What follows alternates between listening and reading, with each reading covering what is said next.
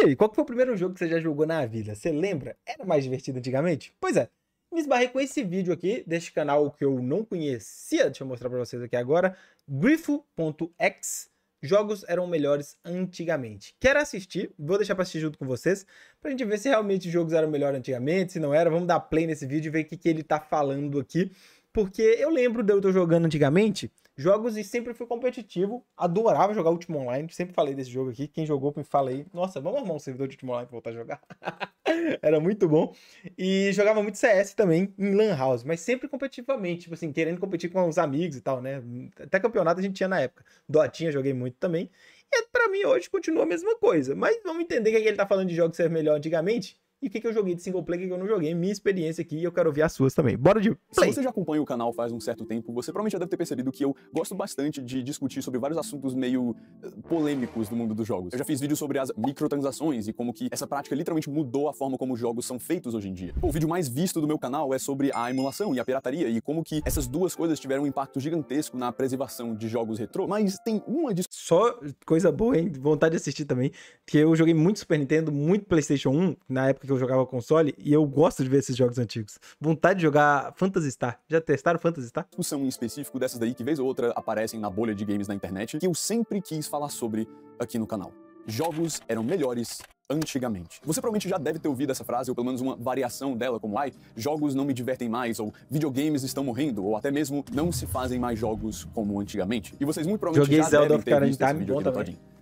Antes dele meter o louco e decidir vender um curso sobre como fazer jogos de sucesso, sem nunca ter feito um jogo de sucesso. Enfim, muita gente viu esse vídeo e ele foi isso, muito cara? influente pra meio que propagar esse pensamento de que antigamente jogo bom era regra, mas hoje em dia é exceção. Pô, eu mesmo me lembro de ver esse vídeo e ter concordado quase que completamente com tudo que estava sendo dito. Mas daí eu cresci e realmente fui atrás de jogar videogame. E não demorou muito pra eu finalmente perceber que toda essa parada de videogame era melhor antigamente era só um gigantesco bait de nostalgia. Eu, eu sei que pra maioria de vocês esse assunto já é velho e vocês provavelmente já têm a própria opinião de vocês formada. E já teve muitos outros youtubers que falaram sobre isso. Não vai ser eu que vou dar um fim nessa discussão. E também esse vídeo aqui do Todinho é de tipo 3 ou 4 anos atrás. Com certeza ele deve ter mudado de ideia.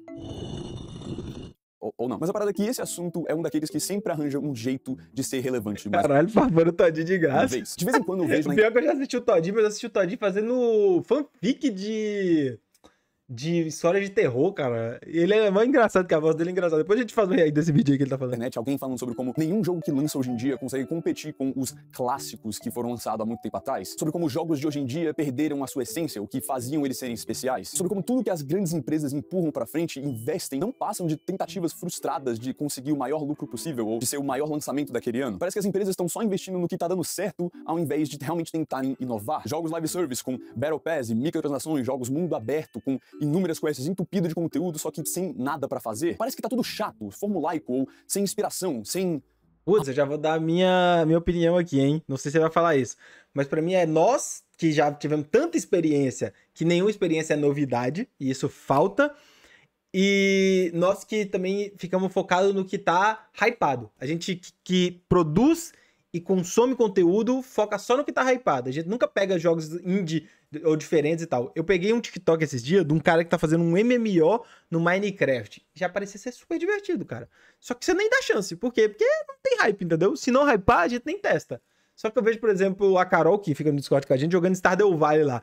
E ela se diverte sozinha lá no Stardew Valley. Se... Velho, tenho certeza que muita gente é assim, entendeu? Você escolhe um jogo, gostou dele e continua. É o que eu tô te falando. Eu tenho nostalgia do Ultima Online, sei que ele era feio pra caramba, mas eu jogaria, entendeu? Tranquilamente. Me divertiria muito se tivesse um servidor legal, entendeu? Alma. E hoje em dia tem tanta merda acontecendo na bolha de videogames, seja as inúmeras decepções daqueles jogos que todo mundo tava ansiosíssimo pra jogar, ou de todas essas polêmicas bizarras envolvendo as maiores empresas da indústria. Olhando pra tudo isso e dessa forma, é meio justo que o instinto natural de alguém que jogou videogames quando era criança é de simplesmente olhar pro passado e pensar sobre como não tinha essas coisas antes, ou pelo menos que elas não eram tão aparentes, sobre como era bom jogar nos velhos tempos, sobre como nada hoje em dia consegue chegar perto da qualidade dos jogos antigos. Mas quanto mais eu parava pra realmente refletir sobre essa maldita frase e quanto mais eu aprendia sobre a evolução da indústria de jogos, mais eu percebia que essa frase, esse pensamento de que videogame era melhor antigamente, é só uma boa e velha Nostalgia. mentira. Eu Mas também antes de concordo. explicar o porquê, uma palavrinha do nosso patrocinador desse vídeo. Ah, aí não. GX. Ei, você aí. Ei, Você é Opera. GX. Então por que, que Sou você gamer. não Caraca, tá grande essa- longas? Pulei, Vamos pro vídeo. pulei, Eu acho que desculpa. todo mundo que joga videogame faz um certo tempo já passou por aquela época de ter um jogo específico que você jogava tanto, que teve um impacto tão grande na sua vida que você acabou criando um vínculo emocional com ele. Talvez tenha Teve, e aí que eu entro no ponto. Eu, eu sempre joguei muito competitivo, online, etc. Mas mesmo os jogos que não eram de console, era muito difícil zerar, cara. Lembra que eu te falei de Phantasy Star? Eu zerei o Phantasy Star no emulador, porque no, no, no videogame você jogava, sei lá. Eu lembro de eu estar jogando com meu primo e a gente jogava, tipo, sei lá, duas, três horas, ou passava uma noite jogando, entendeu? Só que aí a gente só ia jogar de novo, tipo, no outro fim de semana quando ele viesse na minha casa, ou num outro dia que ele viesse dormir aqui e tal, entendeu? Então, e aí salvava e depois você perdia o save, aí tinha que começar de novo. Então, você jogava muito, tipo, muito tempo, mas poucas horas. Hoje em dia a ideia é zerar e consumir outro conteúdo, zerar e consumir outro conteúdo. O estilo de jogo hoje é diferente. Então, mesmo um jogo que talvez tenha pouco conteúdo, a gente demorava muito, né? tenha sido Minecraft, que você conseguia jogar por dias e conseguia ficar vendo seus criadores de conteúdo favoritos, e você sentia que você nunca iria cansar daquilo. Também pode ter sido algum jogo single player, que nem Kingdom Hearts ou Final Fantasy VII, ou até um jogo muito específico e esquisito, tipo Half-Life, cara. Half-Life eu fiquei horas jogando single player. Difícil jogar de single player, mas eu lembro de Half-Life. Eu zerei Half-Life também, sozinho. Ben 10 ou Ratatouille de PS2. E pra mim, um desses jogos era Naruto Ninja Council 3, pro Nintendo DS.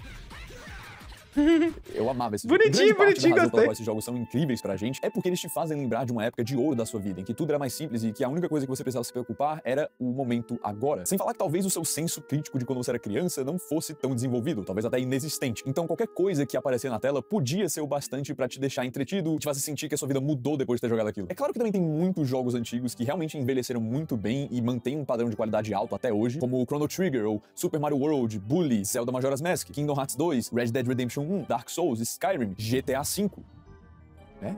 É isso mesmo. Mas esses jogos eram e sempre vão ser exceções. Não vem pra cima de mim dizer que a maioria dos jogos que lançavam antigamente inovavam tanto e tinham essa mesma qualidade dos jogos que eu acabei de citar. Mas enfim, eu não vim aqui pra te falar que a única razão pela qual você talvez sinta que jogos antigos eram melhores, que isso seja puramente por causa de nostalgia. Porque pra ser bem sincero, é bem mais complicado que isso. Sim, muito da razão pela qual a gente tem essa brisa de que jogo antigo era melhor é porque a gente cresceu e o nosso senso crítico evoluiu. E você tem que aceitar que nada vai substituir aquela memória afetiva que você tinha por aqueles jogos. Mas eu acho que no meio de todo esse saudosismo dos clássicos e a nossa percepção distorcida pela nostalgia, ainda assim tem alguns pontos que são importantes de se considerar. Por muito tempo, as maiores inovações e os projetos mais criativos e ambiciosos do mundo dos jogos antigamente originaram de ideias arriscadas. Muitas vezes também as limitações do próprio hardware do console acabava incentivando a criatividade dos desenvolvedores, o que resultava em vários jogos incríveis, como Donkey Kong Country. E foi a partir desse princípio que Donkey a Kong arte era de bom, hein? videogames foi também evoluindo. E conforme os anos foram passando, as inovações que eram apresentadas em jogos foram ficando cada vez menos radicais. Mas isso é só uma consequência do limite do avanço tecnológico, o que é 100% natural de se acontecer com qualquer outra forma de arte. Vai demorar muito tempo até que a gente tenha um impacto tão drástico quanto o Mario 64 ou Ocarina of Time tiveram no Ocarina of Time também, né, realmente. É isso que eu falei. Quando eu vi o Ocarina of Time, primeira vez, caralho, eu vi junto com o Pokémon Stadium, cara. Eu lembro disso até hoje. Eu falei, caralho, que lindo, que maravilhoso. Andar de cavalinho, mapa aberto e tal. Nunca tinha visto, saca? Eu falei, era muito bom, cara. Esse é que é o negócio. Muda, mudava drasticamente, hoje em dia não muda mais nada design drasticamente. tradicional de videogames. Mesmo assim, eu ainda acho que tem muitos projetos hoje em dia que são incrivelmente criativos e acabam se tornando clássicos modernos. Mesmo assim, é muito difícil ignorar que a maioria dos jogos que a gente vê passando numa Summer Games Fest da Silva parecem meio sem graça. E quando eles finalmente lançam, eles saem todos quebrados e incompletos e acaba falhando em cumprir aquela expectativa que você tanto tinha. E um dos, se não o maior problema da indústria hoje em dia é que ela tem uma certa dependência em projetos gigantescos, que são jogos com orçamentos de centenas de milhões de dólares. Jogos que são tão grandes em escopo, tão ambiciosos, cada vez mais graficamente complexos e com tanto investimento que não é possível deles falharem E tem que lucrar, é. né? O Sean Layden, que é o ex-CEO da PlayStation, disse numa entrevista recente que esses jogos, que ele chama de blockbusters, estão virando um risco real para o futuro da indústria. Com esses orçamentos milionários, escopos cada vez maiores, a margem para erro fica muito maior. E é daí que vem essa estagnação, esse colapso de criatividade Porque se você. é- é- Aquele erro ali era menor, né? Mas se você erra, é muito prejuízo, cara. Tem que tomar muito cuidado. Isso é com as foda. palavras dele. Todas essas sequências, remakes e remasters e portes pra PC, sem falar nas cópias de tudo que já tá dando certo. E pra ser bem sincero, eu meio que concordo com ele. Apesar disso ter sido bem culpa dele também. E eu tenho certeza que esse é um dos motivos pelo qual talvez você sinta que videogames não são mais legais, não são mais tão divertidos quanto antigamente, ou que os jogos perderam a sua essência e a sua autenticidade. Mas eu quero que você pense comigo. Será que isso tudo realmente é um problema só da indústria de jogos? Ou será que é você que não sabe mais aonde procurar jogo bom. Claro que a gente sempre vai ter uma atenção especial para os grandes projetos da Nintendo, da PlayStation ou da Microsoft, mas hoje em dia é difícil eles investirem em algo que seja arriscado, que seja realmente diferenciado, que seja muito inovador, porque eles querem focar no que já deu certo antes. E é claro que tem exceções para isso. Cara, o problema é que também não tem tecnologia para isso. Eu espero até hoje, e eu acho que eu vivo para ver isso, tomara, jogar um Sword Art Online, entendeu? É, é porque foi última, a última anime que eu vi, que é enfiar um capacete e entrar num mundo de MMO, onde a moeda do jogo é a moeda real. E eu imagino isso com cripto, entendeu? Eles colocarem as cripto lá dentro, você conseguir fazer tudo online, entendeu? E jogar com o mundo também. Starlink, para mim, precisa voltar. Eu lembro antigamente que o servidor já é muito pior, mas a gente não importava tanto com ping, né? Que eu jogava com a galera do mundo, pô. Eu jogava em servidor americano, último online, entendeu? E todo mundo falando inglês, só eu falando português, e é isso, entendeu? Você tinha que se virar, e eu espero isso voltar. Então eu espero que com o Starlink o ping mundial mude, a gente consiga colocar o capacete, a gente consiga jogar e conseguir fazer esse jogo fonte de renda, saca? Eu espero muito que essa vai ser a próxima evolução. É isso que eu espero para jogar ainda. Fora isso, eu não vejo nenhuma coisa que eles podem lançar que eu vou falar, caraca, olha isso aqui diferente. Eu já vi isso, tudo. Especialmente com a Nintendo, na minha opinião. Mas talvez seja por causa dessa aparente monotonia dos jogos grandes que você sente que jogos não te divertem mais. Mas eu, pelo menos, tenho uma noção e eu posso estar completamente errado nisso também. Depois de tanta decepção atrás de decepção, a maioria do público gamer já se acostumou com a noção de que não é só porque um jogo é AAA que ele vai ser bom. De uns anos para cá, a gente tem visto uma certa ascensão na popularidade de projetos feitos por times menores com pouco investimento. São projetos inovadores, diferenciados. É, e... o último jogo que eu comprei, só pra você ter uma ideia, tem três anos que eu comprei ele, foi o jogo do Selbit lá. Porque eu falei, pô, um joguinho BR, um joguinho que vai ter uma historinha divertida, eu só vou jogar pela história mesmo, basicão, os gráficos e tal, e eu quero testar. E eh, ele não lançou até hoje, né? Porque eu, eu comprei lá no Cartaz para ajudar, no início e até hoje eu peguei. Outro jogo que eu comprei também foi aquele do Marcos Castro, você lembra? Que ele cantava eu vou lhe apresentar, oh, sou herói dessa canção. Eu achei divertido também, me lembrou a nostalgia de Mônica do Castelo do Dragão e tal. É, então, hoje em dia eu tô focado muito nisso, se fosse pra divertir. Mas aí você já compra e pensa assim, ah, vou jogar duas horinhas, dez horinhas, acabou, já era, entendeu?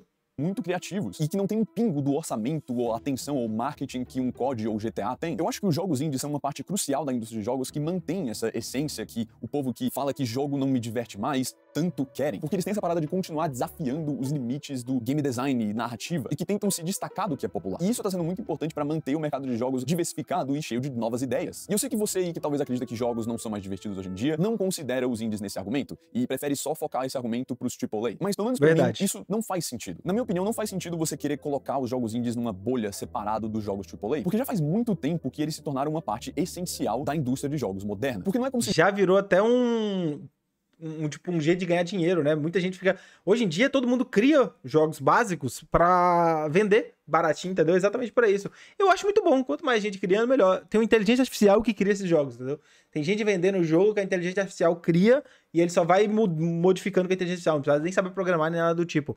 Eu vi. Eu não lembro que canal que eu vi fazendo isso, eu achei bem legal. Só que, cara, eu não sei. É porque tem que ser um simples, mas tem que ser um simples que revolucione, entendeu? É, sei lá, o último que eu joguei, Vampire Survivor. Vocês devem ter jogado. Que era um jogo que vai vindo monstrinho, monstrinho, monstrinho, você vai evoluindo e destruindo monstrinho. Tipo um Tower Defense da época do Warcraft, saca? Eu joguei ele um bom tempo, me diverti e larguei. Mas aí eu paguei, sei lá, 10 reais, nem lembro quanto eu paguei, 5 reais nele, entendeu? Então, se vender 10 milhões de cópia, o cara fica rico, entendeu? E é isso que todo mundo procura hoje em dia. É, eu acho uma boa, eu acho uma boa. Se jogar jogo indie fosse uma coisa muito underground que nem era antigamente. Claro que tem um monte de nerd esquisito que joga jogo indie, que foi feito por, tipo, dois caras trancados num quarto, mas também tem a sua prima que joga Stardew Valley. Alguns dos jogos mais populares hoje são indie. Hades, Dead Cells, Terraria, Undertale, Hotline Miami, Joguei Valheim, Terraria. Hollow Knight, Celeste, legal mais uma caralhada de jogos incríveis. Criativos. Esse Hollow Knight parece ser bem legal também. Nunca joguei, mas ele parece bem legal. Já vi alguns vídeos sobre. E diferenciados lançam todo ano em paralelo com os jogos grandes. Confia em mim. Se você tiver nessa fadiga de tipo, ai, todo jogo é igual, nenhum jogo me diverte, é só ir atrás de algum jogo indie ou um AAA que você realmente achar diferenciado, que eu tenho certeza que você vai encontrar pelo menos um que tem o potencial de ser aquele jogo que vai mudar a sua vida. Mas também quem disse que todo jogo tem que ser a melhor experiência da sua vida? Às vezes, um jogo bom significa só uma ideia bem executada que você acaba curtindo. E isso tem de sobra hoje em dia. Então, não. Jogos não eram melhores antigamente. Videogames não estão morrendo. Videogames, de fato, não são feitos como antigamente Mas isso não é uma coisa ruim. Sabe, é muito fácil você só olhar para as partes ruins que infelizmente tem na indústria de hoje e olhar para o passado com saudade, achando que tudo era melhor e querendo que tudo volte a ser como era antes. Mas essa linha de pensamento completamente ignora os últimos 20 anos de evolução em game design que eventualmente trouxeram alguns dos jogos mais incríveis da história. Apesar de realmente achar que tem sim problemas na indústria e que as coisas realmente precisam mudar e vão mudar pela própria sobrevivência dela, a verdade é que jogar videogame hoje tá melhor do que nunca. É muito mais fácil de você achar jogo bom de tipo qualquer gênero e também evitar os jogos ruins. A variedade de jogos tá muito maior. A acessibilidade dos jogos tá mil vezes melhor também. Sem falar que quase todo ano sai pelo menos uns três jogos que são completamente incríveis e se tornam clássicos instantaneamente. E eu não tô dizendo que tem nada de errado em você jogar jogo antigo. Eu, como eu disse, tem muito jogo hoje em dia que envelheceu incrivelmente bem e que ainda são legais e são muito bons. Às vezes melhores que muito jogo que lança hoje em dia. Mas a parada é que jogo bom e jogo ruim sempre existiu e sempre vai existir a rodo. E alguns sempre vão ter mais atenção que os outros. E para ser bem sincero, eu não sei como terminar esse vídeo, então eu vou só listar um monte de jogo que lançou esse ano, que seja AAA ou... Vamos ver, vamos ver. Eu quero ver os jogos top. Porque os jogos, sei lá, é, lançou Baldur's Gate, foi o jogo do ano, né, cara? E eu não tinha vontade de jogar, não tive vontade de jogar, vocês acreditam? Até porque quando lança um jogo também que você começa assim... O cara lançou o jogo, quanto que é o jogo? 350 reais. Eu falo, nossa, não vou comprar nem fuder. também, pra você, sei lá, se curar dessa síndrome do PC Gamer e tal. Tem Animal Well, é um jogo bem da hora, bem massa. Nunca mesmo. ouvi falar. É um dos melhores Metroidvanias que existem por aí. É, mudou minha vida. Eu acho que esse é o jogo do ano pra mim. Metaphor Fantasio, eu tô com tipo 60 horas nessa desgraça. Nunca ouvi é falar o melhor também. jogo da Atos que eu joguei também, muito bom. Zelda Echoes Uh, of Wisdom. o cara do Hunter x Hunter, o Killua. É, o Zelda que tem a gameplay mais inovadora, na minha opinião, muito, muito legal mesmo. É, realmente redefiniu o gênero de novo, que nem Breath of the Wild. A Nintendo tá, tá indo bem, viu, nessa porra. É, ele podia Jack, mostrar, um ele podia mostrar os jogos na tela. Epopeia aí, que eu amo muito vocês. É, em breve eu vou- fazer um vídeo sobre é, jogos indies e Mullet Mad Jack vai estar nesse, nesse vídeo. Uh, Kill Knight é um roguelike, não é roguelike, é mais um arcade meio Doom. Another Crab's Treasure é um Souls-like de caranguejo, acho que não precisa falar mais nada. Hades 2 é Hades, só que 2. Crypt Master, eu não vou falar mais nada, é só você ir atrás desse jogo que você Esse vai... parece, eu gosto de jogo terror, cara. Eu gosto de jogo terror. É um jogo de detetive que envolve geração procedural de casos, é bem, bem louco mesmo. E por último, mas não menos importante, é Dragon Ball Sparking Zero. É Dragon Ball Sparking Zero. Muito obrigado, membros, por Esse Dragon Ball novo, eu vi uns vídeos do Coringa jogando e eu achei bem legal no TikTok. Parece ser bom ele também. no canal, vocês são maravilhosos, eu espero que você tenha gostado das pixels que eu fiz pra vocês também. E muito obrigado a você por Gostei, chegar até o gostei. final do vídeo. Se inscreve no canal, Minha dá like falhou. e compartilha esse vídeo Ah, pra aquele seu amigo que acha que negócio. videogame tá chato hoje em dia. Até a próxima. Agora que eu vi E que minha luz falhou, nós estamos no escurão aqui no roxo. Meu Deus do céu. Aí, ó. Vamos voltar a luz, né? Volte a luz. o problema da tinta amarela em jogos. Caraca, esse canal é bom, hein? Na moral, segue esse canal aí. Ah, eu tô no canal de viagem, não, não tava inscrito aqui. Já dei meu like. Segue esse canal que o cara é bom. Ei, gamer, baixa o Opera GX aqui. eu uso o Opera GX. É nóis, o Grifo. Na moral, eu gostei muito do seu vídeo, velho. Bra, brabíssimo. Brabíssimo! Mas não falou um pouquinho do competitivo, né? O competitivo hoje em dia eu acho bem melhor. Eu tô focado no competitivo. Vamos puxar LOL? LOLzinho aí.